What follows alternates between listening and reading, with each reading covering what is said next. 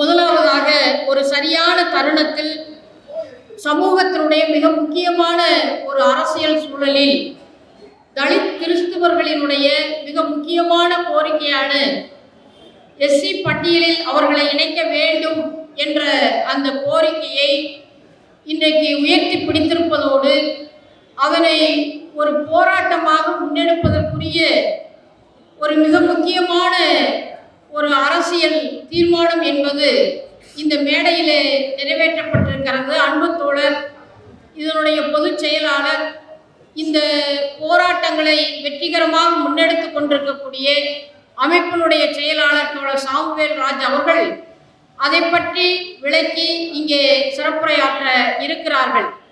ஆகவே இது இந்த கோரிக்கையும் நம்முடைய தலித் கிறிஸ்துவர்களினுடைய வாழ்க்கையில் ஏற்பட்டிருக்கக்கூடிய பல்வேறு பிரச்சனைகள் குறித்து இந்த இடத்தில் நாம் பேசுவது என்பது மிக முக்கியமானது.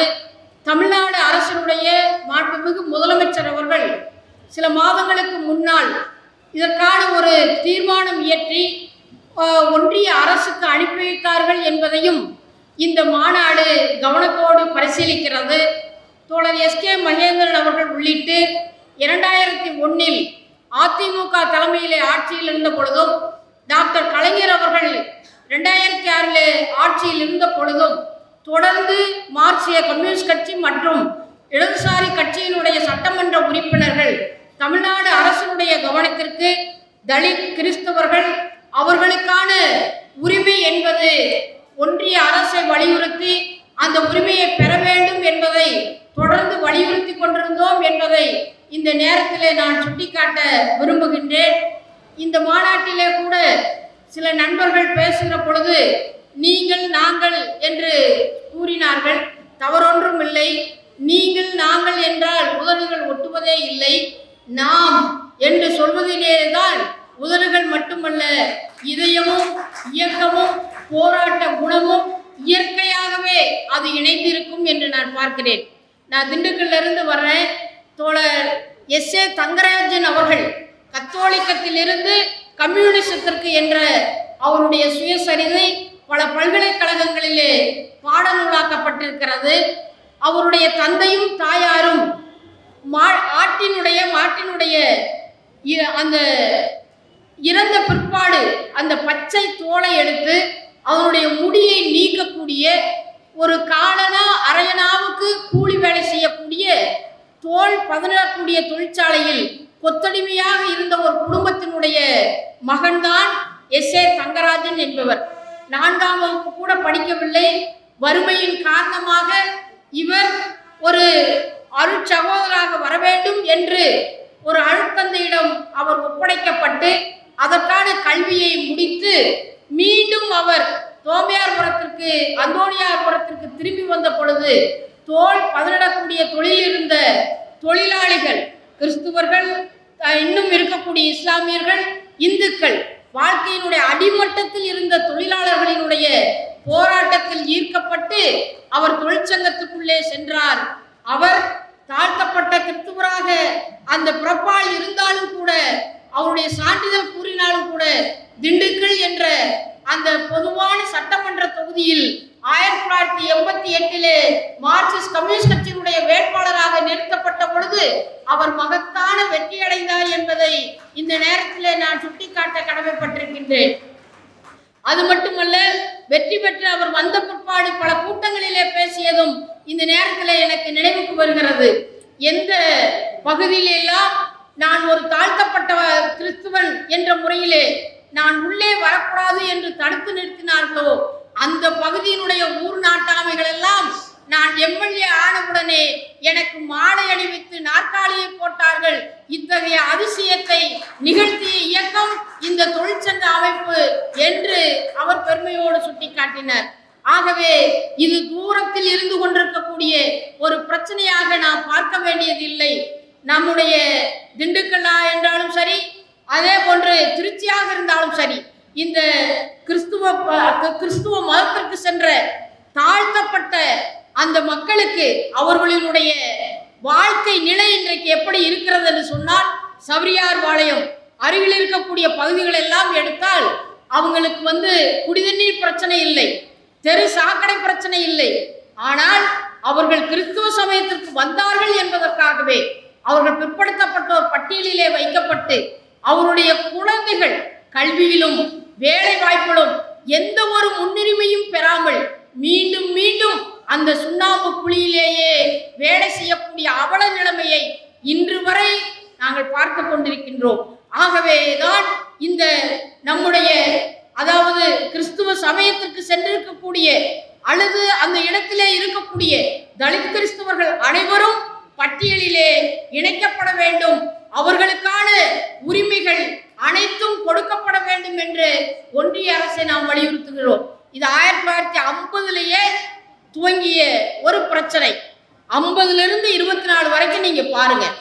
ஒவ்வொரு வருஷமா வருடங்களை எழுதி அதுக்கு மேலே ஒரு சிவப்பு கோடோ பச்சை கோடோ போட்டுக்குங்க. ஏன் அன்றைக்கு குடியரசுத் தலைவர் எந்த சிந்தனையோடு அந்த அறிக்கையை அவர் கொடுத்தார்?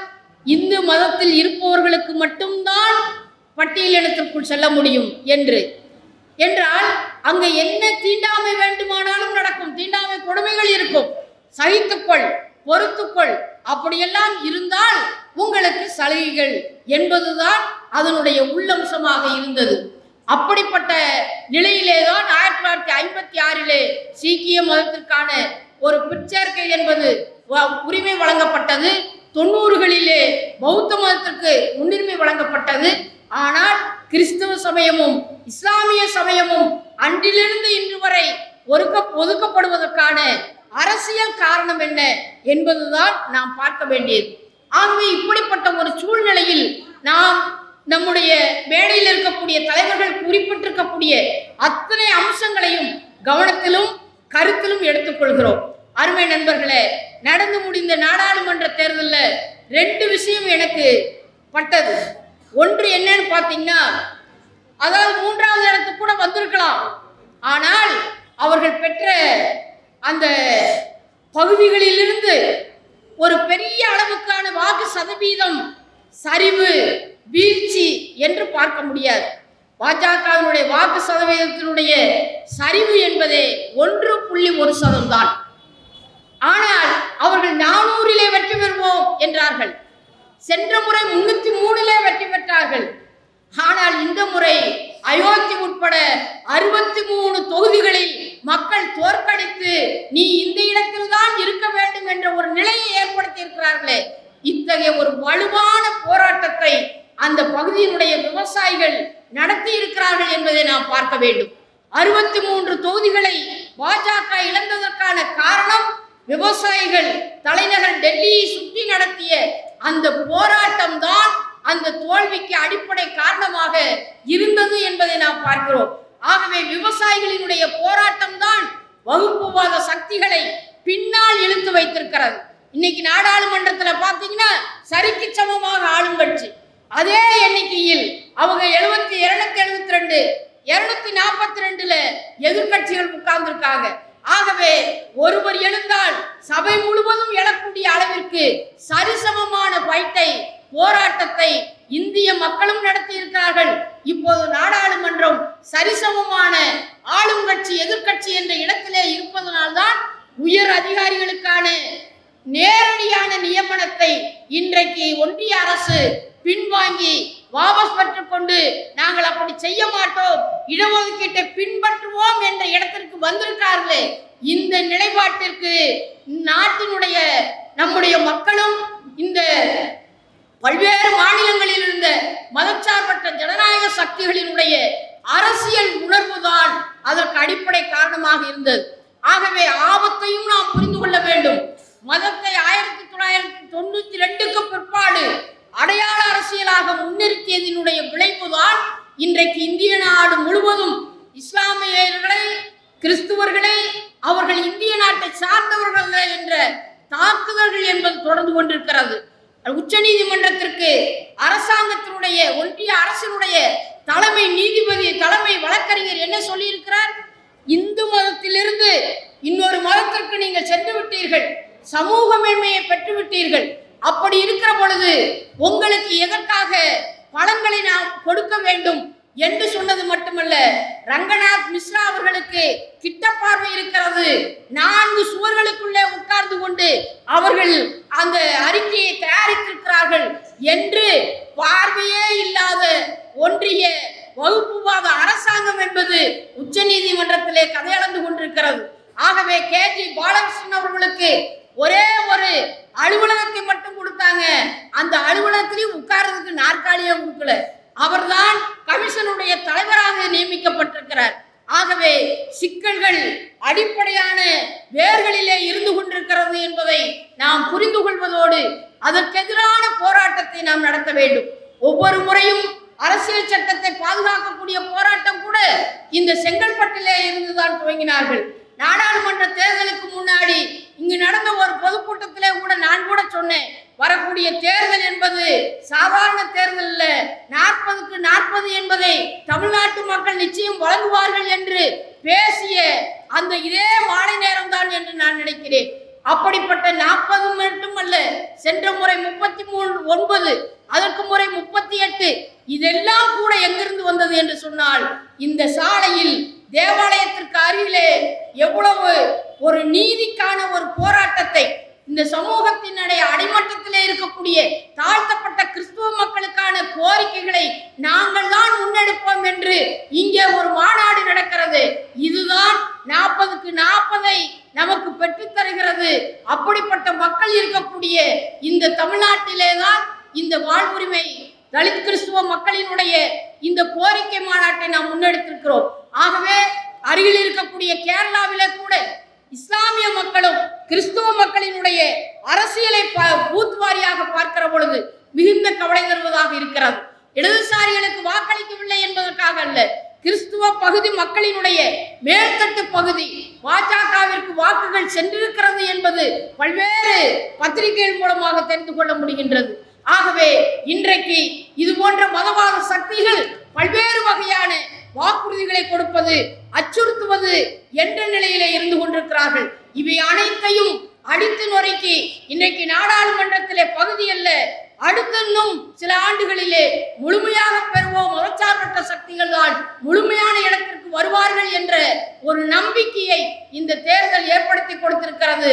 அந்த முறையிலே தான் இந்த தலித் கிறிஸ்துவனுடைய அவர்களை பட்டியலிலே இணைக்க வேண்டும் தாழ்த்தப்பட்ட மக்களுக்கு கொடுக்கக்கூடிய அனைத்து உரிமைகளும் அவர்களுக்கும் வழங்கப்பட வேண்டும்.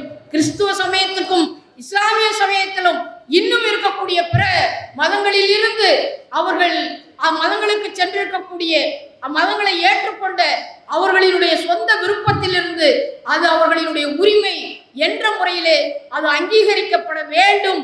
ரங்கநாத் மிஸ்ரா அவர்களினுடைய அந்த அறிக்கையை ஆய்வு செய்து இப்போது இருக்கக்கூடிய கமிஷனுடைய தலைவர் அவர்களும் ஒரு புதிய அறிக்கையை கொடுக்கிற பொழுது அதற்காக உச்சநீதிமன்றம் காத்திருக்காமல் சீக்கிய சமயமும் பௌத்த சமயமும் எப்படி ஏற்றுக்கொள்ளப்பட்டதோ அதே போன்று கிறிஸ்துவ சமயத்திற்கும் இஸ்லாமிய சமயத்திற்கும் அங்கு சென்றிருக்கக்கூடிய தாழ்த்தப்பட்ட மக்களுக்கான அந்த உரிமை என்பது வழங்கப்பட வேண்டும் என்று நாம் வலியுறுத்தி கேட்டுக்கொள்கின்றோம். ஆகவே நண்பர்களே இந்த நேரத்தில் இது ஏதோ வாழ்வுரிமை மாநாடாக மட்டுமல்ல நாம் போராட்ட களங்களுக்கு செல்ல வேண்டும்.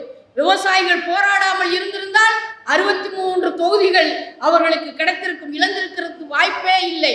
அப்படிப்பட்ட ஒரு சூழ்நிலையில் தமிழ்நாட்டிலும் இந்திய நாடு முழுவதும் தலித் கிறிஸ்துவ மக்கள் எங்கெல்லாம் இருக்கிறார்களோ அவர்களை சென்று சந்தித்து அவர்களை போராட்ட களத்திற்கு கொண்டு வந்து சேர்க்க வேண்டிய ஒரு மிக முக்கியமான கட- கடமையை நாம் அனைவரும் ஒன்று சேர்ந்து நிச்சயமாக செய்வோம் என்ற அடிப்படையிலே இந்த மாநாடும் மாநாட்டில் நிறைவேற்றப்படக்கூடிய தீர்மானமும் நாம் வைக்கக்கூடிய கோரிக்கைகளும் வென்றெடுப்பதற்கு நாம் அனைவரும் ஒன்று சேர்ந்து போராடுவோம் வெற்றி பெறுவோம் என்று கூறி நிறைவு செய்கிறேன். நன்றி வணக்கம்.